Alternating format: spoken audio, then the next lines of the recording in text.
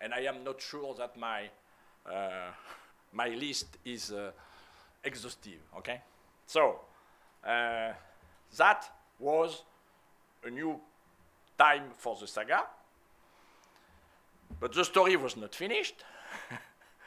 and then we enter, we are more or less mainly uh, in Europe and uh, Australia, probably less in the other continent. We, we are observing a globalization of the PPS use with localization of the tool, you see? That, uh, that what I call that a saga. We start an information system, a PPS use. Then the people say, okay for the information system, but not for the PPS use, okay? Then they say, oh, no, not the information system, we have to modify the information system, but not for PPS, okay? And then at the end, ah, now it is working, the information system is good, it is acceptable uh, for the people of the country, so we're going to use the PPS. Okay? That's fun, I would say. uh, and uh, you see, for instance, you have the list of uh, uh different uh, healthcare uh, type of healthcare system, either tax funding, either health insurance, and when it is tax funding, centralized or decentralized, and when it is health insurance, Bismarckian or purely liberal, as in the USA and China, and uh, you see all these countries have near their local DRG or case mix, and the use, there is a tendency to use more and more for PPS. Okay? And then, what is still, st are starting now, but is still to be written, is uh, the future. Of course, when you are back, uh, when you look back to the history, you say, so this technology innovation has worked very well. It is worldwide. Uh, and the only country not having embarked on this are going to, I mean India. Uh, so uh, is it perfect? The question, I will be back uh, in my next uh, presentation, but of course, I have not said that, but the story that is that in 1967, even in 1980 in Europe, the only the data, coded data we have, was for acute care inpatient. Acute care inpatient. And all the DRG system who has been successful are explaining variable of acute care inpatient. And then some people say, depending upon your, uh, you see, uh, the fact to be based on acute care inpatient, I will say, is very good, at least for two countries, the United States of America and France. For we have a clear distinction between what is acute care, inpatient, and what is outside hospital care. And in the case of France, we have a different way of payment. That means that we pay the physician on a fee-for-service basis, and we pay the hospital on a DRG basis. Okay, so it's, uh, and in this DRG basis in France, uh, we include the salary of the physician. For the physician in public hospital are paid on salary. That's a big difference with the United States, who, where are, the physicians are paid on a fee-for-service basis, and the DRG price concern not the reimbursement of the physician. They, it is excluded, okay, from the DRG price. Uh, anyway, it is restricted. The healthcare system is not only acute care hospital. You have primary care, you have uh, more or less uh, pre-admission care, you have post-admission care, you have rehabilitation, you have a lot of things in the community. And that is why mm, several systems have been developed based on the patient, on the whole patient. That means all the treatment received by a patient, whatever it is, outside hospital, inside uh, um, uh, acute care inpatient, or even within hospital, but non-acute care inpatient, okay? And then after the hospital. So, and there is one, at least one system now developed by the John Hopkins University, which is the ambulatory care group, which is uh, doing that. Uh, and it seems that it will be the future, but with the difference that the existing system for now is uh, just based on diagnosis, and you see is based on the number of encounter uh, a patient has with the healthcare system, the whole healthcare system, hospital or not, during one year. Okay? And this does not give information on what is done precisely to a patient on each healthcare setting, including the acute care inpatient. That means that, in fact, this system is not, uh, has not the goal to replace the DRG. It can be associated to the DRG at another level of the healthcare system. Okay? So, that is the future, and uh, as uh, uh, you, are, you will see that. So, I will uh, finish briefly. Sorry, yes? Is it only meant for the inpatient currently, or it is also used for the outpatients currently in US and France? Uh, uh, the, the, there is a question of name, okay? Uh, the DRG by itself is used only for the acute care inpatient.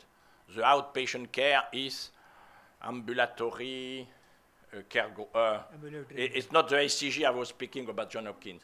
There is something for outpatient. Okay, there is other classification. Uh, how to say? Uh, it is very different in the sense that uh, I think I will address that later. But uh, uh, the DRG system is based initially on the diagnosis and major diagnostic category, okay? And then you do the distinction between surgery and medical, and uh, in between, you see. And then uh, you use other information, and uh, in the outpatient classification in the United States, but it's used only in the United States for now, uh, it starts with procedure. It is based on the type of procedure. It's much procedure driven than the DRG. That is why uh, it, uh, another word must be used for that. But uh, what is used in the outpatient sector in state is a case mix system. That's sure. Yeah. Today we have a trend, even in India, of uh, same-day surgeries. You know, outpatient surgeries. So is that factored into the ACG? Because I, I got the point that DRGs are, uh, you know, the the uh, the gra- the center of gravity is around the procedures, especially because patients are admitted to the hospital, they are undergoing acute care, so you give a lot of weight for the procedures. And in the case of the ACGs, because they are in the community, you are focusing more on diagnosis and less on procedures. Is my understanding right? I mean, Yes, the, the question, uh, uh, it is a good question, but it is a very technical one. It is a border problem.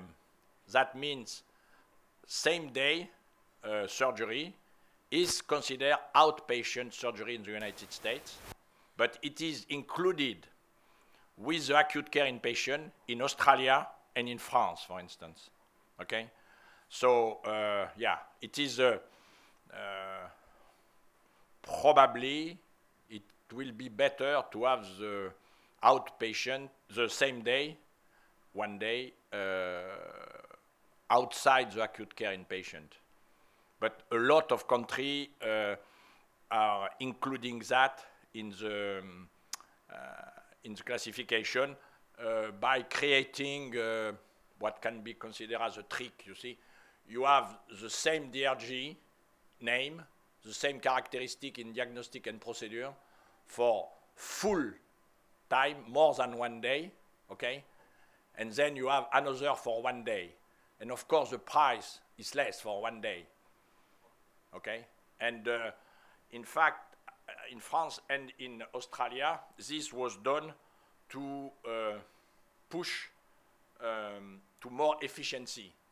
The best, the best example being uh, the cataract intervention for uh, on the on the eye, and uh, you see at the beginning uh, that was done uh, with the I don't know three days, four days hospitalization, and the technique have evolved, and that was not justified. So it was uh, necessary to do that on the same day, and that has increased by the fact that, for instance, in France, progressively we have given more money to do that on one day than uh, a full hospitalization of more than one day. And the output uh, has been conclusive. Now the cataract are done on the same day.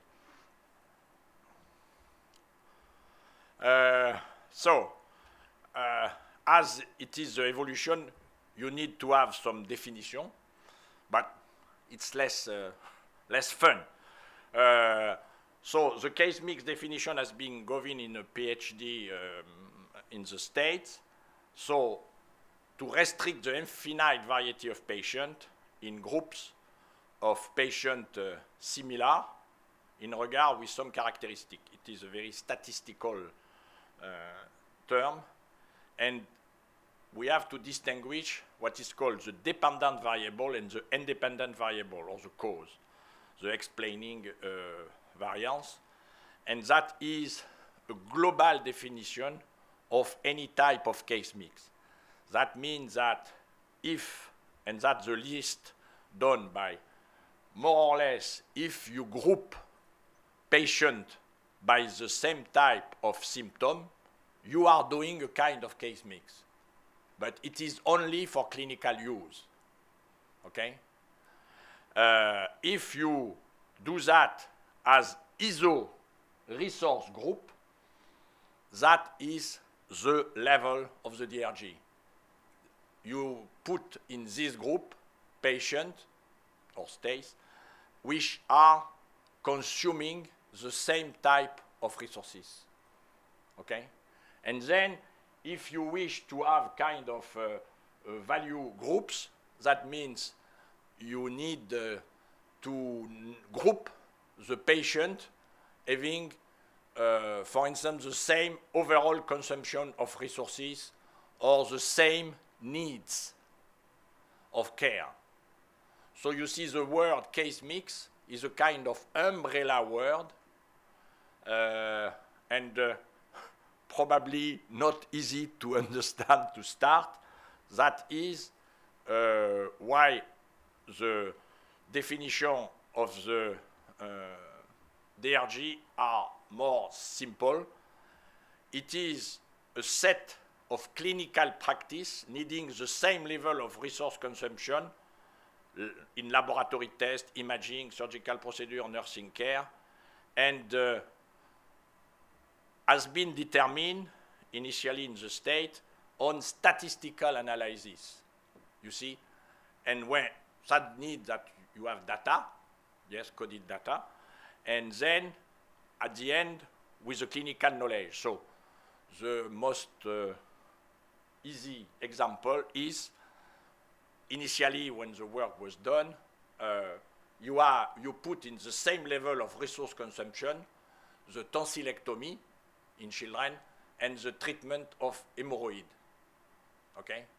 The two extremity of what is in United States the gastrointestinal tract.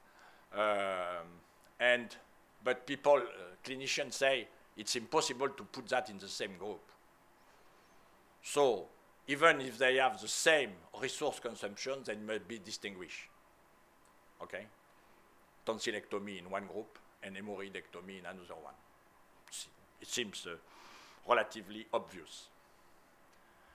I think I will skip this one for it's just the way uh, the statistical methods to determine the groups. For it is a, a, a complex uh, system, and so uh, you see the DRG are done of three parts: clinical data, case grouping, algorithm, and cost model.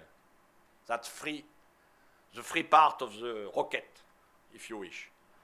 So we need diagnosis, coded diagnosis, okay?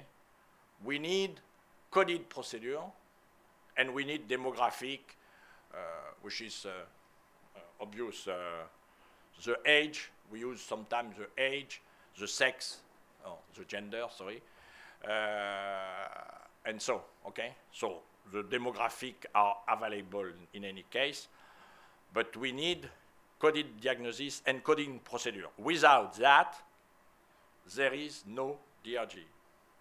When you have that, you use the so-called algorithm and you produce a group. But you must have in mind that the coders, they code diagnostic and procedure. They don't code DRG. For the DRG, you need a software, uh, and that